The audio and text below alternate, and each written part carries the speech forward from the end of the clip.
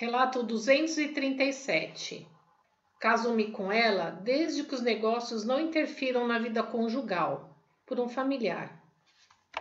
O casamento de Meixo Sama e Nidai Sama não foi um casamento arranjado, mas se procedeu de forma semelhante. Uma pessoa disse a Meixo Sama: Uma jovem e sua tia irão ao balneário de Carro no trem de tal hora. O que acha de ir vê-la? Aceitando a sugestão, Meixo Sama dirigiu-se à estação de Ueno, em Tóquio, e viu a jovem, que posteriormente se tornaria sua esposa, Nidai Sama. Ao ser perguntado mais tarde, Meixo Sama respondeu: Gostei da moça. Assim, o casamento foi rapidamente decidido, tendo como padrinho o Dr. Shota Matsumoto, médico que morava na vizinhança. Em razão de Nidai-sama ser muito jovem e Meixo-sama, devido a vários problemas de saúde, parecer bem mais velho, ficamos apreensivos. Contudo, graças à intercessão do padrinho, tudo correu satisfatoriamente. Meixo-sama pediu que fosse transmitido o seguinte à futura esposa.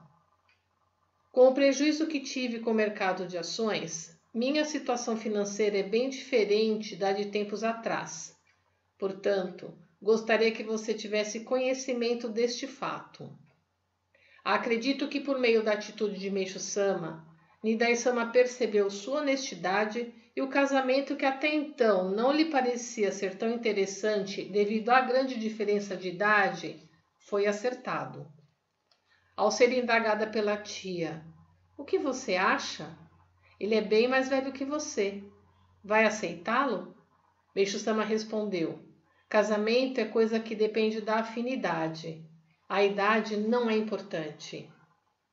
Uma pessoa próxima de Daisama, vendo a foto de Meixo Sama, disse: Como ele aparenta ter uma boa fisionomia, é melhor aceitar a proposta. E prosseguindo, disse que poderia ajudá-lo um pouco nos negócios. Ao saber disso, Meixo Sama contestou: não gosto de incomodar as pessoas e também não quero que misturem as coisas.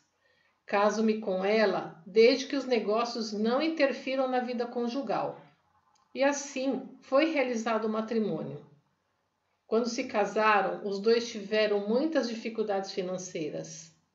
Todavia, como Meixo Sama tratava Nirai Sama com muita atenção e cuidado, ela foi muito feliz extraído do livro Reminiscências sobre Meixo Sama, volume 1, página 237.